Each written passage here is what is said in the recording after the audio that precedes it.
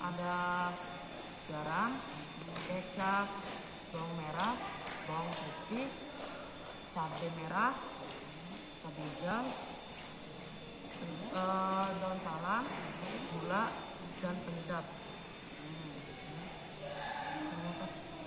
Cara masaknya, tuangkan minyak di wajan dengan api sedang. Tunggu hingga panas. Kemudian tempe yang sampai setengah matang. Setelah itu angkat dan tiriskan. Kemudian kemudian tumis bawang merah, bawang putih, daun salam, cabai, tumis sampai wangi.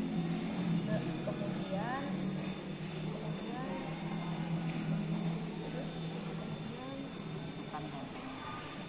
kemudian masukkan tempe, garam, gula, garam, gula, kecap, kemudian tambahkan sedikit air lalu diaduk-aduk sampai semua bumbu merata. Setelah itu masukkan daun bawang, diaduk-aduk sampai daun bawang layu dan terakhir kita siapkan pada piring saji. Oke, saya bikin. Saya bikin salah. Bikin sendiri. Ya. Mama coba Mama. Apa membantu mama? Coba. Oke.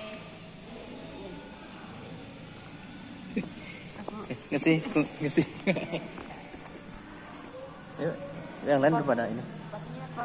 sepatu di situ ya